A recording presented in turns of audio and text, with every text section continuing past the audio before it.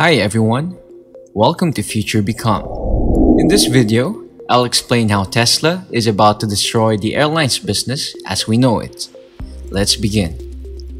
Faster flight for less money has long been a pipe dream, especially in the 1980s. At the time, the Concorde was heralded as a plane that would control the 21st century. A flight from New York to London on a normal airplane takes roughly 7 hours. In the Concorde, this voyage would take only 3.5 hours. However, as we all know, this plane had other problems. Fuel was expensive and limited the range. The plane was also extremely loud, causing locals to become irritated when Concorde flew overhead.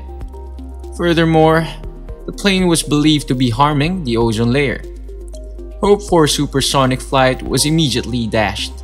But what if I told you that a new supersonic jet is on its way? This is where Elon Musk's supersonic vertical takeoff and landing jet, which he has been dreaming of developing for years, comes into play. At some point, um, I I have a design in mind for an electric supersonic vertical takeoff and landing plane. And I think there's a particular opportunity for um, a supersonic ele- vertical takeoff and landing electric jet. supersonic uh, electric jet. Vertical takeoff and landing electric jet. A supersonic electric vertical takeoff and landing jet. We've watched the move to electric vehicle pick up speed. EVs are faster, less expensive to maintain, and on track to become less expensive than internal combustion engines. We've never seen the switch to electric planes even begin when it comes to planes. This is mostly due to the energy density limitation of contemporary batteries. Batteries cannot currently fuel a plane for the duration of a flight.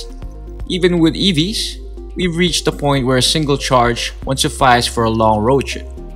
Tesla, on the other hand, has been working on a battery with significantly more density than prior lithium ion batteries. Many battery specialists believe that at 400 watt hours per kilogram, batteries are dense enough to allow vertical takeoff and landing.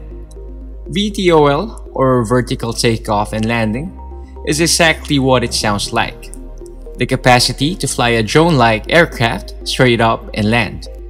Many military aircraft use this technique, which is especially useful in situations where there isn't enough room for horizontal takeoff. Elon Musk has suggested that a compelling airplane only requires roughly 400 watts per kilogram, assuming that the cell percentage on the aircraft is high. It doesn't have to be anywhere like a high as a rocket, but if it's around a kilogram, you can get a respectable range. 400 watts hours per kilogram with a long cycle life and high production volume is not far away and will most likely occur in 3 to 4 years. In addition, he has a concept for a VTOL jet and is ready to build one as soon as battery density permits. Now, have you ever looked at How planes and gone, I could fix this? I just don't have the time. Too I busy making have a design for a plane. You do? Yes. A better design? I mean, probably. I think it is. Yes. Who have you talked to about this? And I've talked to friends, Friends? and friends, and I'm your friend. girlfriends, and You can tell me. what do you got? What's going on? well, I mean, the exciting thing to do would be some sort of electric vertical takeoff and landing supersonic jet of some kind. Vertical takeoff and landing meaning no need for a runway. Just shoot up straight in the air and then So we know Elon has a concept for a Tesla VTOL plane. The Concorde failed to become popular for three main reasons. As I mentioned at the start of this video, fuel was expensive, the plane was noisy, and the gas harmed the ozone layer. All three of these concerns are addressed by Tesla's future electric plane. For one thing, energy is significantly cheaper than fuel, and at worst, will have a minimal cost while flying at regular speeds with gas planes. Furthermore, as proved by electric vehicles, electric is far quieter than engines. Because electric vehicles are so quiet, there have been serious discussions about requiring all electric vehicles to have phony engine sounds. So if I were to go down here now and shift it into drive, I'll be quiet. You're you're gonna hear this kind of hum.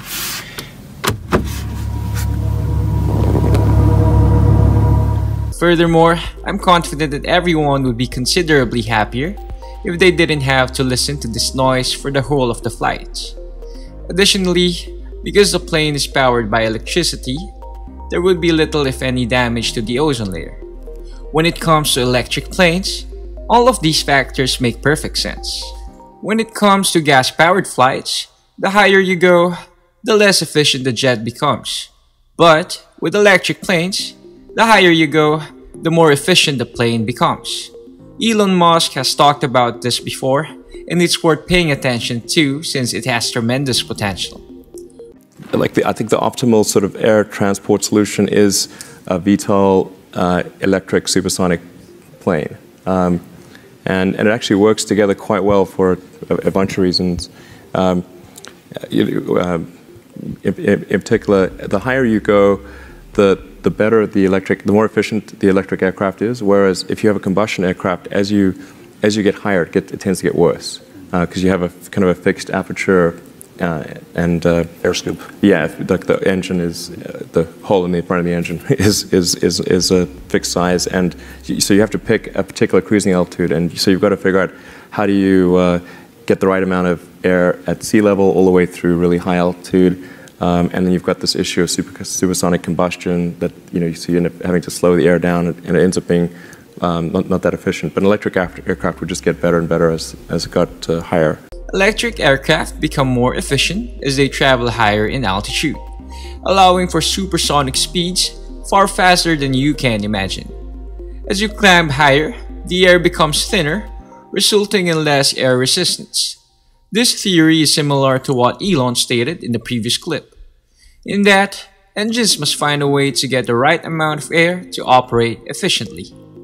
This is not the case with electric airplanes. As the plane rises in altitude, there is less air resistance, allowing the plane to travel faster and faster. This is why flying faster in the space is considerably easier than in the atmosphere. Elon described this when he proposed his Hyperloop idea, which aims to build a supersonic train that runs through a tunnel. In order to go really fast with a plane, you have to climb pretty pretty high because the atmosphere just looks like molasses when you're going fast. Uh, so you, you, for distances certainly under 500 miles, you spend all your time just ascending and descending, and you don't really get an opportunity to spend time at cruise. Uh, so something like the Hyperloop can comp complete really well in that arena because uh, you, you instantly, or very almost instantly, enter a low pressure environment. Given the early stage of the technology, Estimating the speed of an electric plane is extremely challenging. In terms of miles per hour, Rolls-Royce has been working on an electric plane that might travel up to 300 miles per hour. But Tesla could easily outperform it with far superior battery technology and design. When a new technology enters the market, the long dominant corporation must make a decision. Do they invest heavily on technology or will they continue to do what they've been doing for years? The majority of the time, long dominant corporations will opt for a second option, risking becoming outdated, like Nokia and Blockbuster did. Given the frequency with which this occurs, Boeing and Airbus may be impacted very soon. Elon feels this is true because, properly so, firms have grown exceedingly risk averse. Until you're disrupted, the plan makes sense? Well, it seems unlikely to come from Boeing or Airbus, given that they seem to be focused on very incremental improvements to the planes as opposed to radical improvements. Get dense enough to allow supersonic flights, an electric plane starts to make sense. Furthermore, Tesla's mission has always been to expedite the world's transition to renewable energies which requires the firm to disrupt airplanes. Do you think Boeing or Airbus will pick up on this technology? Or do you believe Tesla will surprise the existing aviation industry with a groundbreaking VTOL plane? Leave us a comment. If you enjoyed this video, give us a thumbs up. If you don't want to miss any of our content, consider subscribing and click the bell button. Once again, this has been Future Become. Thanks for stopping by. We'll see each other again in the next video. Take care.